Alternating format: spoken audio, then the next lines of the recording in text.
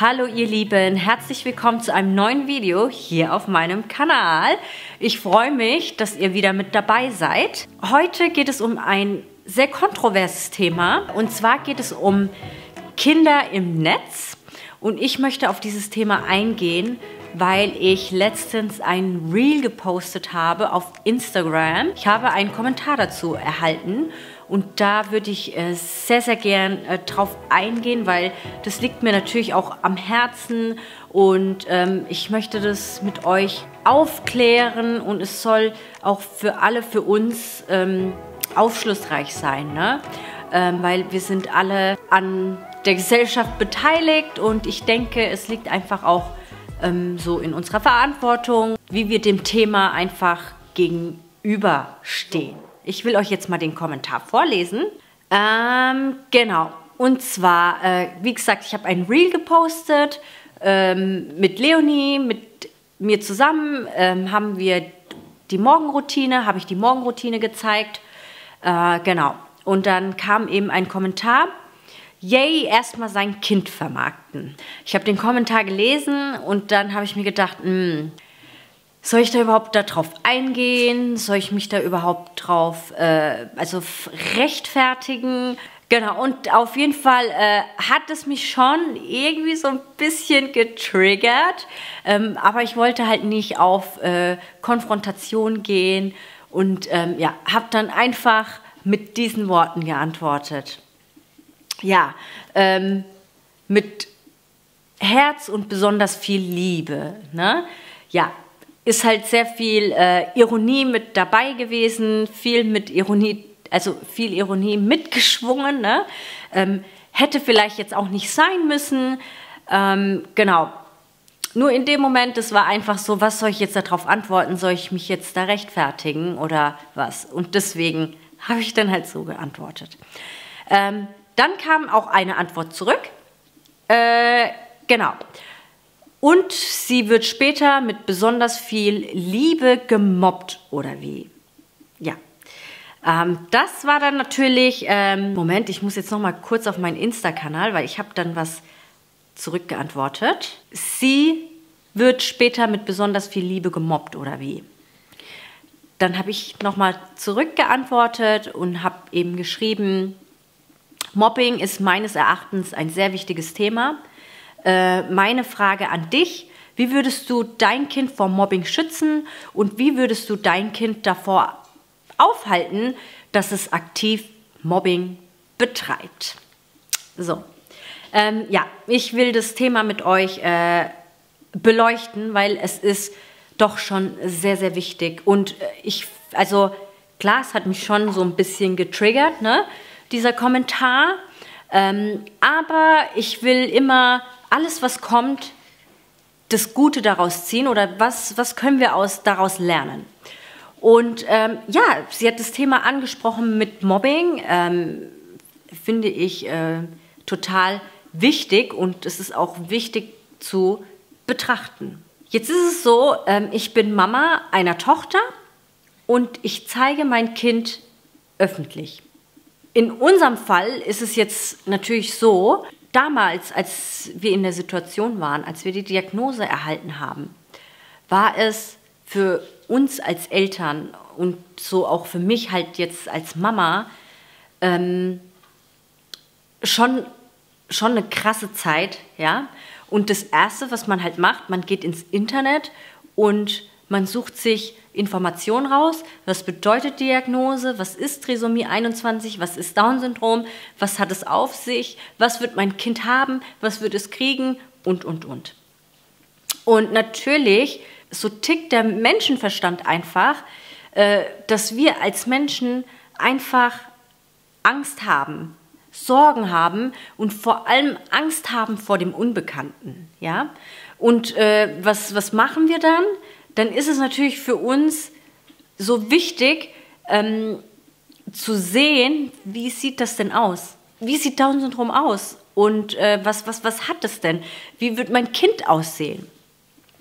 Also sind wir ins Internet gegangen und haben geguckt, ah, okay, ähm, so sehen die Kinder aus.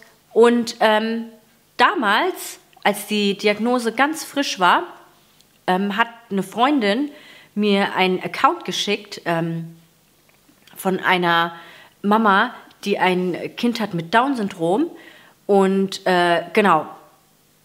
Und das habe ich mir natürlich dann direkt auch angeschaut. Und ich muss sagen, das hat mir einfach sehr, sehr geholfen.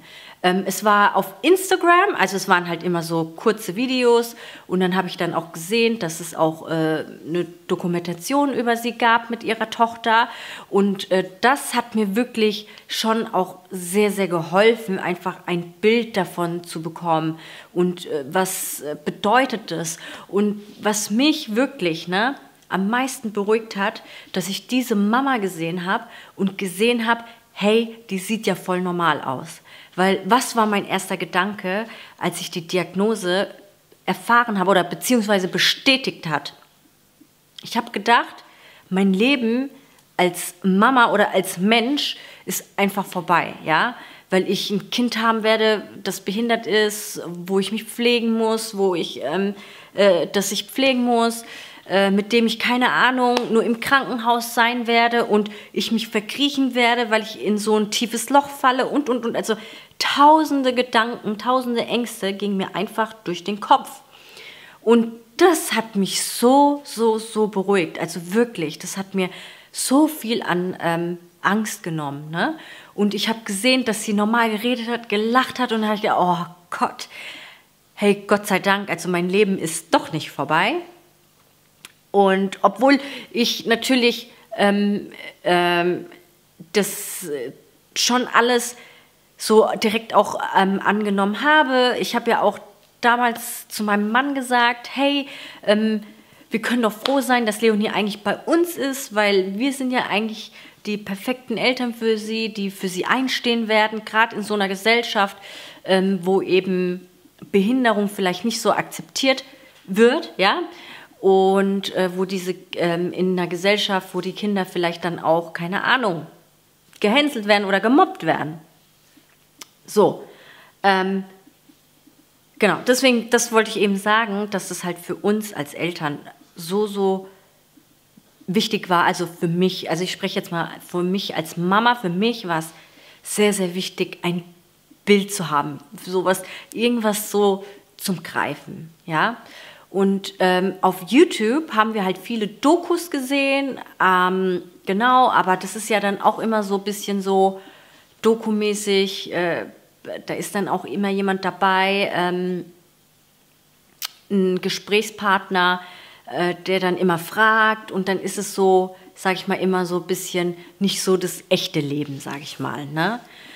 Und ja, es hat mich einfach so in dem Prozess, in dem, sag ich mal, Verarbeitungsprozess mit allem klarzukommen, war einfach so in mir dieser Wunsch oder dieser Drang danach, ähm, einen YouTube-Kanal zu starten, ja, weil äh, einen YouTube-Kanal zu starten und einfach offen und ehrlich darüber zu reden, über die Gefühle, über was passiert ist, ne? Und ich sage es euch ganz ehrlich, also für mich das Reden mit euch, mit euch zu interagieren, zu hören, eure Geschichten auch, meine Geschichte teilen zu dürfen hier, das alles hier rauszusprechen, ist für mich als Mama, als betroffene Mama wie eine Therapie. Und es hat wirklich sehr, sehr viel mit mir gemacht, ne? weil wie ich auch so die Resonanz sehe und wie ich sehe, was für eine Liebe darüber kommt, ähm, hat es natürlich äh, sehr, sehr viel dazu beigetragen, ähm, einfach, sage ich mal, schneller wieder ähm, zurück ins Leben auch zu finden. Und ja, ich bin einfach auch so von Natur aus ein sehr positiver Mensch. Ich lache gerne, ich rede viel und gerne. Ähm, ja, ich habe immer gute Laune und ich will einfach, dass das Leben cool ist, dass das Leben locker ist.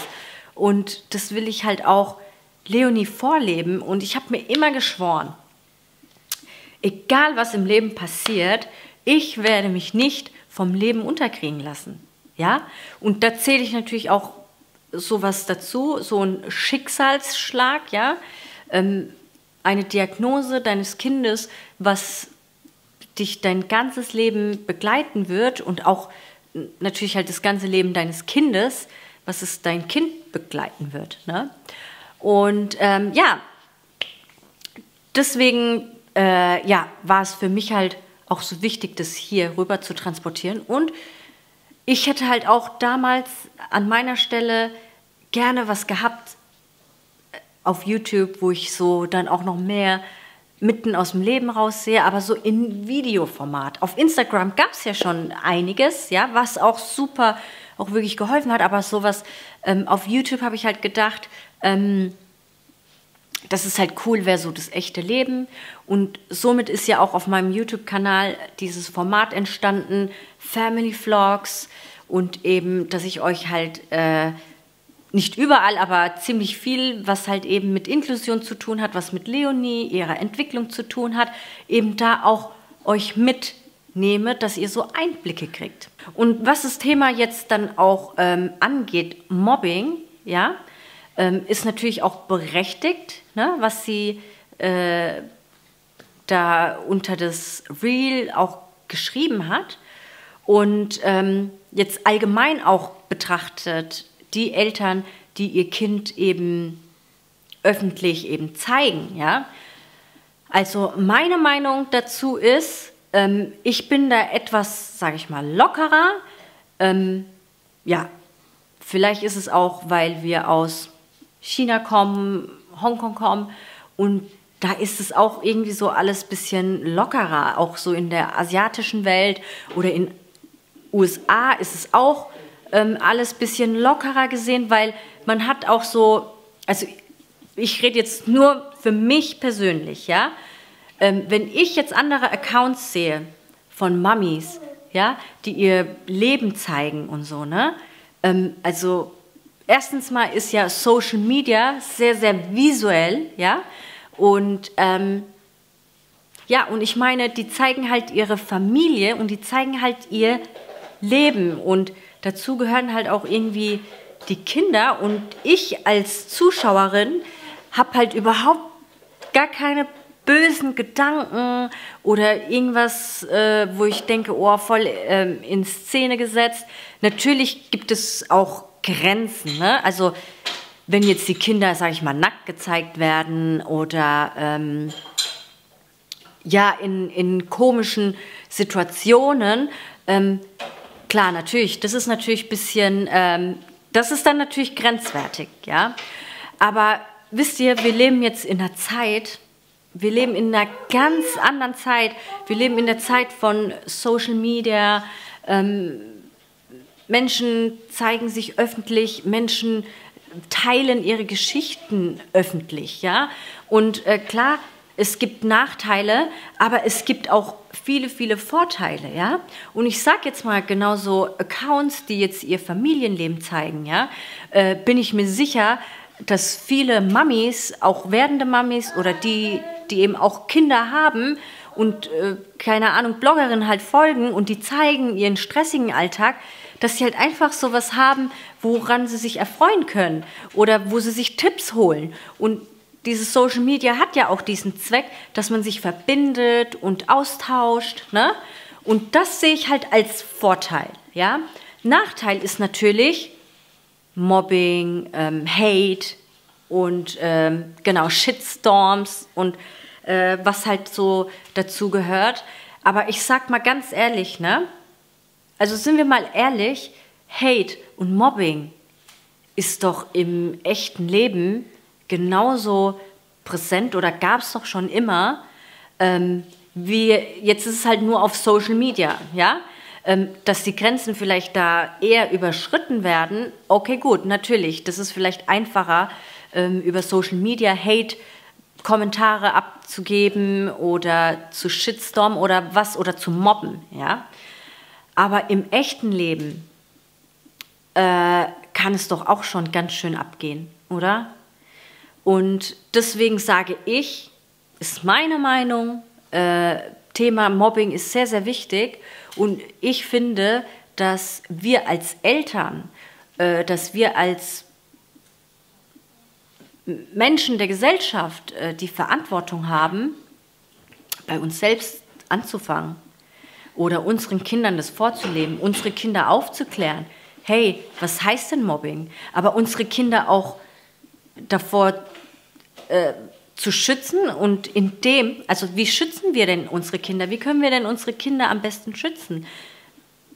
Ich glaube, wir können unsere Kinder am besten davor schützen, dass wir sie aufklären, dass wir ihnen sagen, was bedeutet das, was ist das, ähm, dass, wir, dass wir sie selbstbewusst erziehen, dass wir selbstbewusst vorleben, Selbstbewusstsein ihnen vorleben. Ich glaube, damit können wir viel, viel mehr bewirken, als wenn wir immer nur sagen, ja, dein Kind wird dann gemobbt später oder ich habe Angst davor, dass mein Kind gemobbt wird. Ich würde eher an der Wurzel anfangen, ähm, wo es beginnt. Ja? Und da stehen wir als Eltern besonders sehr, sehr groß in der Verantwortung. Und natürlich auch die Pädagogen im Allgemeinen stehen auch in dieser Verantwortung, aber auch alle Menschen, die Teil sind dieser Gesellschaft. Ja? Dass wir unseren Kinder oder dass wir unsere Kinder auch aktiv aufklären, dass sie selbst ähm, nicht nur nicht Mobbingopfer werden, sondern dass sie nicht Täter werden. Ja? Dass sie aktiv Mobbing betreiben. Ich war selbst äh, ein Kind, ich war selbst Schülerin, ja, und ich habe auch ganz viel äh, Mobbing mitgekriegt. Ich hatte irgendwie so das Glück, dass es mich nicht getroffen hat, aber ich glaube, es lag auch wirklich daran, dass ich schon äh, von jung auf sehr, sehr selbstbewusst war. Und äh, wie ihr vielleicht auch wisst, ich bin ja bei einer ähm, äh, deutschen Familie aufgewachsen, bei meinen Pateneltern und äh, bei einer sehr, sehr liebevollen Frau, ähm, die mich super toll wirklich ähm, erzogen hat und mir was wirklich tolle, tolle Werte vorgelebt hat und vor allem, also den, den höchsten Wert, den sie mir vorgelebt hat, war Liebe. Ja, lieb zueinander zu sein, die anderen Menschen zu respektieren, ähm, höflich zu sein, freundlich zu sein, äh, zu lächeln, schön zu sein, sich schön zu fühlen. Das sind Dinge, mit denen ich groß geworden bin. Und meine Patentante hat mir von klein auf Inklusion beigebracht ohne das Wort Inklusion überhaupt in, in den Mund zu nehmen. Ähm, wir sind die Straße entlang gelaufen. Sie hat mir erklärt, wenn jemand im Rollstuhl vorbeikam, äh, wie man diesen Menschen entgegentritt. Ja? Ähm, wenn jemand, äh, sag ich mal, Fühligeres äh, entgegenkam, hat sie mir auch gesagt, ähm, dass man diese Menschen auch nicht auslachen darf. Ja? Und äh, das, sage ich mal, das passiert alles auch zu Hause. Ja? Und deswegen finde ich das viel, viel wichtiger, ähm, dass wir Prevention äh, schon äh, zu Hause vornehmen und ähm, uns da selbst auch an die Nase fassen und auch, wie wir unser Kind, sag ich mal, Essen geben oder füttern, dass wir unserem Kind auch aus natürlicher Art und Weise schon direkt auch diese Werte mit auf den Weg geben. Ja? Und äh, unsere Kinder nicht einfach dem dann äh, selbst überlassen. Dass meine Tochter, dass Leonie vielleicht gerade mit ihrer Beeinträchtigung oder gerade mit Down-Syndrom ähm, vielleicht eher eine Zielscheibe werden könnte in der Gesellschaft und als Mobbingopfer, ähm, sage ich mal, leiden könnte, ist mir natürlich bewusst. Aber also ich kann auch nicht mit im Kindergarten die ganze Zeit sein. Ich kann nicht mit im, in der Schule mit dabei sein. Ich kann nicht mit die ganze Zeit in ihrem Leben dabei sein, weil das ist ja totales, totale Gegenteil von Selbstständigkeit. Ja? Aber was ich machen kann, ist ihr Liebe vorleben, Freude, ähm, ja, eben wie man andere Menschen sieht, wie man anderen Menschen respektiert, ja, zuhören, ja, ähm, hilfsbereit sein, ähm, Gemein, Gemeinschaft, Zusammengehörigkeit, ne? Und das ist das, was ich ihr vorleben kann, was ich ihr zeigen kann. Und ich sag euch jetzt auch ganz ehrlich, ne? Nicht nur weil Leonie jetzt Down-Syndrom hat, ist es so meine Meinung. Das war schon vorher so meine Meinung.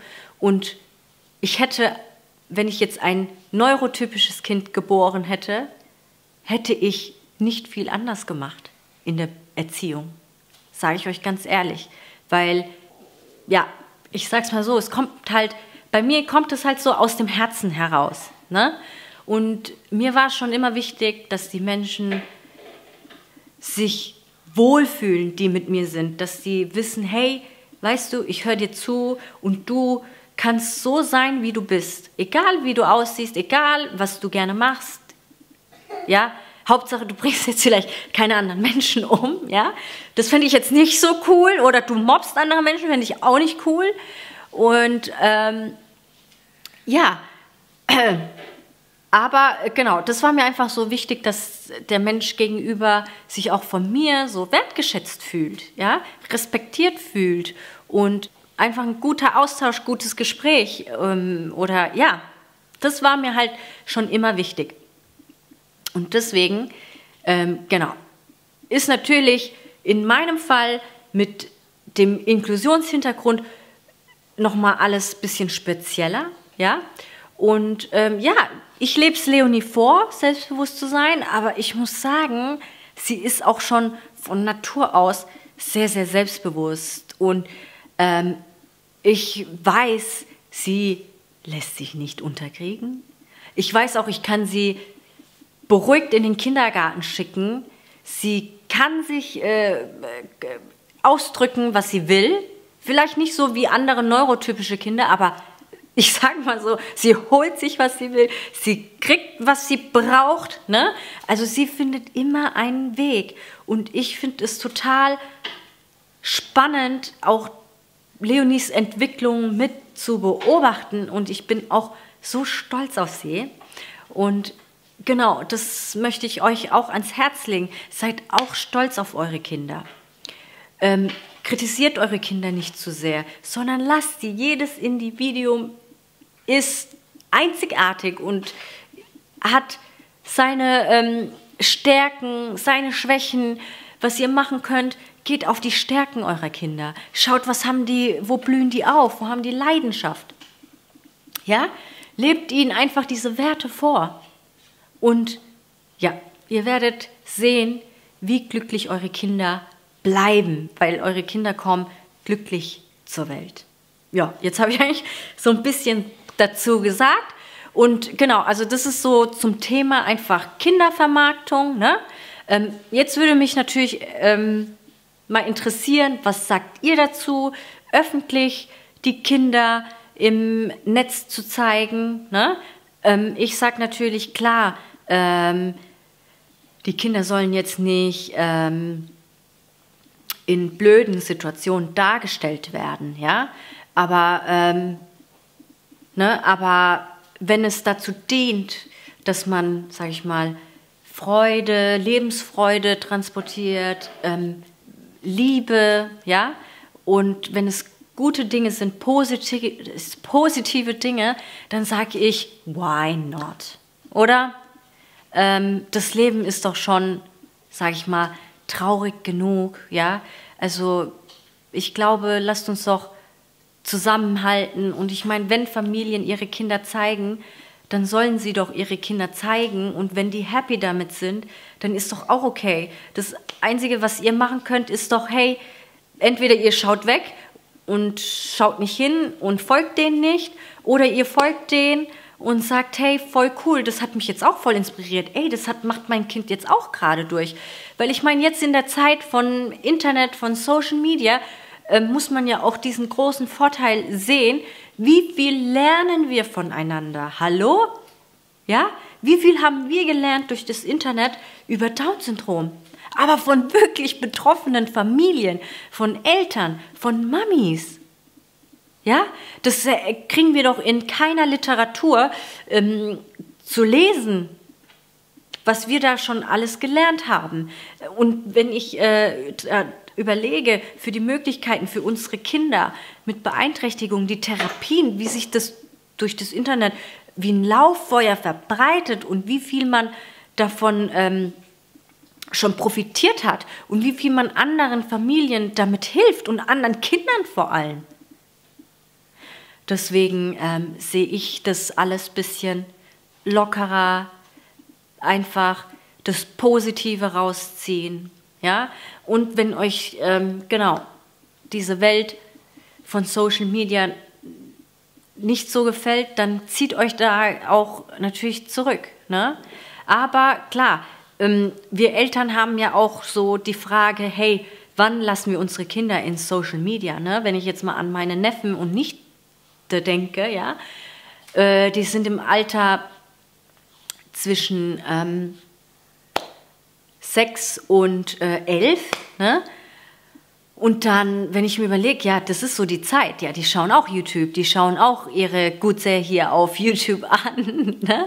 Und ähm, genau, aber ich, also wir, wir, wir können eigentlich unsere Kinder nur davor schützen, wenn wir sie davor aufklären, wenn wir denen gutes Selbstbewusstsein vorleben, mitgeben, wenn wir sie stärken, wenn wir sagen, hey, du bist gut so, wie du bist. Ähm, don't criticize too much, wie gesagt, ja. Und äh, genau, lasst eure Kinder einfach glücklich sein. Und jetzt äh, wollte ich euch, hat, also würde jetzt auch nochmal so zu dem Thema passen, äh, Kinder im Netz, Kinder in der Öffentlichkeit zeigen. Und zwar hat mich vor ein paar Tagen ein Kommentar auf ein, äh, unter einem YouTube-Video erreicht. Ne? So, habe ich den jetzt abfotografiert? Ja, genau.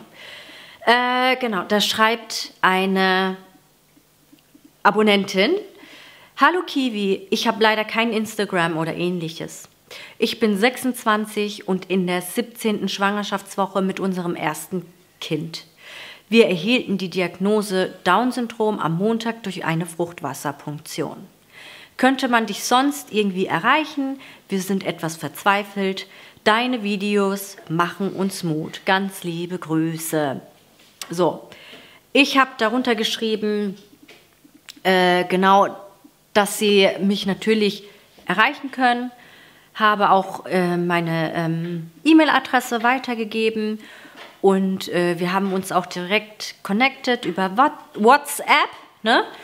Und genau äh, diese Frau, diese werdende Mama hat sich äh, da befunden. Der einzige Unterschied, dass sie es eben schon in der Schwangerschaft er, ähm, erfahren hat, aber genauso an der Stelle als wo ich mich befunden habe vor fünf Jahren, als Leonie zur Welt kam und die Diagnose feststand. Ja? Und also wir haben uns per Zoom kennengelernt. Ich habe ihr das angeboten, dass ich äh, mit ihr auch äh, spreche über die Fragen, die sie hat. Ne? Und ähm, ja, weil ich habe einfach sofort gespürt, sie fühlt sich so, wie ich mich eben vor fünf Jahren gefühlt habe. Und damals, als es bei uns war, kam auch jemand von der Lebenshilfe zu uns sogar extra nach Hause und äh, hat mit uns das so alles durchgesprochen. Ne? Ähm, klar war viel Informatives auch mit dabei, aber ähm, ja, ich glaube, das, das äh, Eigentliche, was man in dem Moment braucht, ist, so ein offenes Ohr und einfach auch zu wissen, hey, äh, da ist jemand, äh, die kennt sich damit aus, weil sie es selbst erlebt, weil sie selbst ein Kind hat mit Down-Syndrom. Und genauso war es auch für diese werdende Mama, mit der ich gesprochen habe. Ähm, ja, wir haben ganz toll uns ausgetauscht und äh, ja, ich konnte auch einfach spüren, dass sie echt äh, nach dem Gespräch auch erleichtert war. Ne? Und im Kommentar hat sie auch geschrieben, äh, deine Videos machen uns Mut. Und jetzt könnt ihr mal hier live, sag ich mal, miterleben, wie wichtig es ist oder ne, wie viel wir damit bewirken können durch diese Videos. Ja, und es gehört halt dazu. Und wir wollen Leonie nicht verstecken. Ähm, ja, und man, die Gesellschaft braucht halt dieses Bild. Ne? Was ist das? Das Unbekannte. Und ähm, ja, und ich habe so das Gefühl, jetzt ist auch so die Zeit, gerade von Menschen mit Down-Syndrom, aber auch von natürlich anderen Menschen mit Behinderung, körperliche Behinderung, geistige Behinderung. Jetzt ist so die Zeit von Inklusion. Ähm, ja, ich spüre es total. Und deswegen sind wir hier auf YouTube. Und ähm, ja, ich bin hier mit euch, mit meiner wundervollen Community. Auch nochmal hier an dieser Stelle danke für über 2000 Abonnenten jetzt. Und äh, danke auch für eure Kommentare, für euren Austausch.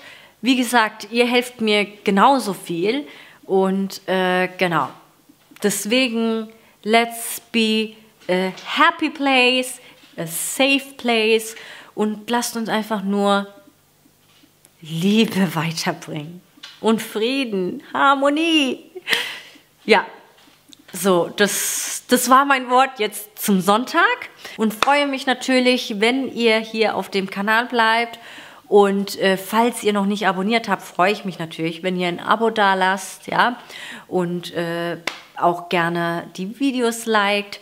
Ähm, das hilft uns natürlich auch dabei, dass die Videos auch mehr gesehen werden. Von der werdenden Mama übrigens habe ich erfahren, Sie hat gesagt, sie hat jetzt seit zwei Wochen wirklich kontinuierlich und sehr intensiv im äh, Internet recherchiert und besonders auf YouTube.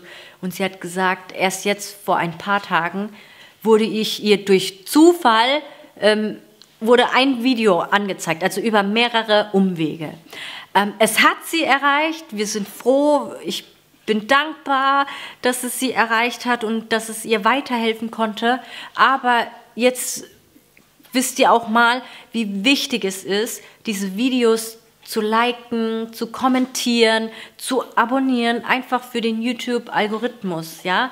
Und schaut mal, ihr könntet auch mit dabei sein, einer Mama, dadurch nur, dass sie die Videos seht, ähm, schon für sie so eine Erleichterung zu empfinden. Freue ich mich, wenn ihr ein Teil davon seid, wenn ihr da auch aktiv mitmacht, die Sachen zu teilen, die Videos, wo immer ihr auch denkt, wo es gut platziert ist, wem es helfen könnte. So meine Intention hier mit diesem Kanal ist es natürlich, ähm, unser Leben zu teilen, über mein Mama-Leben zu sprechen, wie ist unser Leben, wie läuft es hier ab und natürlich auch über Inklusion, über Down-Syndrom, auch zu teilen, wie Leonie sich entwickelt.